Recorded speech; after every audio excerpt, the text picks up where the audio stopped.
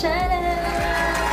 So for today's vlog guys, ay ang gagawin ko is magtatakal regarding body shaming. Alam ko na matagal na issue na to, pero I just wanted to share my opinion and uh, share and spread awareness na din. Kasi parang nowadays may nakikita pa akong issue, post about body shaming. Yun, nababothered ako. Teka lang, nababothered ako dito.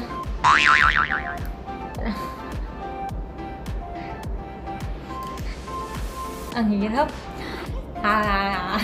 So without further ado, let's get this started. Bakit ko naisipan mag-content about body shaming? Diba? Body shaming. Kasi, uh, I just wanted to spread awareness and also, para na din alam ng ibang tao na hindi madali yung pinagdadaanan ng mga taong binabody shame nila, 'di ba? Kasi sa akin din may story din ako before kasi hindi talaga ako tumataba? And uh, people would ask me, "Uy, bakit ka hindi tumataba? Uy, anong kinakain mo? Uy, isang ihip lang ng hangin, panigurado, matatangay ka na. Uy, kumakain ka pa ba? ba? Parang, hello, kumakain naman ako. Yun nga lang, hindi ako nataba. Parang I get to the point where kumakain ako ng madami. Tapos parang, uh, parang navavomit ka na kasi nga gusto mong tumaba, di ba? And parang nadidepress na din ako and frustrated kung paano ako tataba. Hindi mad- hindi kasi magandang like perfect shaped hourglass yung katawan mo. Maganda yung hubog ng puwet mo. Maganda yung yung ano nang hinaharap mo. Pero, pero naman guys, wag naman ganun. 'Di ba? Yung, kesyo itong tao na to, payat. Tatawagin nyo ng shrimp. Tatawagin nyo ng hipon, pantat. 'Di ba? Kesyo naman itong tao na to, mataba. Tatawagin nyo ng baboy. Tatawagin nyo ng barel. Tatawagin nyo ng balyena, 'di ba? Hindi nyo kasi alam kung ano yung nafi-feel deep inside them. Okay ka if you can easily gain weight. Okay ka if you can easily lose weight, 'di ba? Basta wag lang yung ano, instead of magsasabi ka ng ganyan sa kapwa-tao mo, encourage them, ba? Like, uy, uh, kaya mo yan, tataba ka din in time. Huwag mo lang sagarin ng sagarin yung sarili mo. Diba? Uy, papayat ka din. Exercise lang. Ganun ba? Kasi, hindi maganda ang body shame ng ibang tao eh.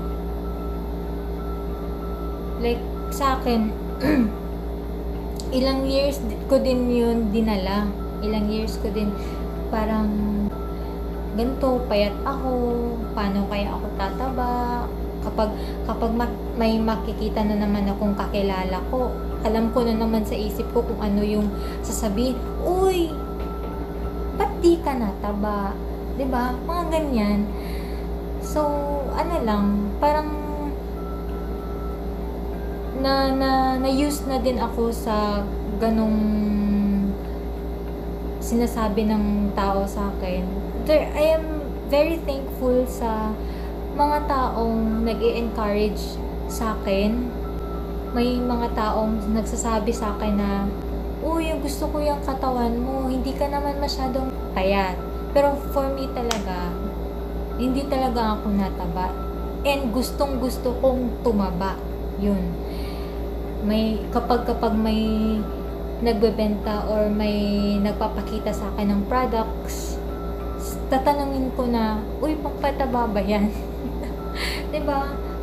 Yung ano kasi, yung impact ng mga sinasabi ng tao sa'yo, parang nakaka-depress, nakaka-frustrate, huwag ganun.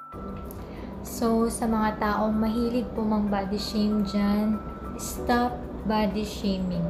Please, stop. Kasi, hindi mo alam kung anong pinagdaanan ng mga taong gustong pumayat at gustong tumaba. 'di ba? Yun lang. Let's just spread positivity, encouragement sa iba. 'Di ba? At saka sa mga ano diyan, kaya niyo 'yan. Yung nang babody shame sa inyo, hayaan niyo sila. Pakita niyo sa kanila na matatag kayo, pakita niyo sa kanila na kaya niyo, 'di ba? I am here, I stand with you guys. Kasi na body shame din ako. And it's not good. It's not good. It is not good. Yan na. Parang uh, kaya niyo yan. And uh, just ignore those people. Huwag niyo silang pakinggan. And I know that uh, in time, tataba ka din at papayat ka din. So, let's just spread awareness and love. Short lang yung ano ko, yung content ko na to kasi I just wanted to spread awareness na. And uh, I just wanted to talk about this issue. Hindi naman ako yung parang perfect talaga magbigay ng opinion. It's just my opinion, guys. Again, my opinion. My opinion. 'Di ba? ano lang, parang kasi I stand with people na nababody shame. I know the feeling kasi. And uh, let's just spread positivity and encouragement sa mga taong kagaya ko na nabody shame. And sa mga nambabody shame dyan, mm, ha? Joke lang. Uh, so, yun na guys. Kaya natin to. Kaya natin to. Kaya natin to. Kaya, kaya, kaya, kaya natin. Huh? election campaign ba yun na kanta? so, dito na po nagtatapos ang vlog ko. Don't forget to like, share, subscribe, and click the notification bell for more updates and for more upcoming videos. Bye!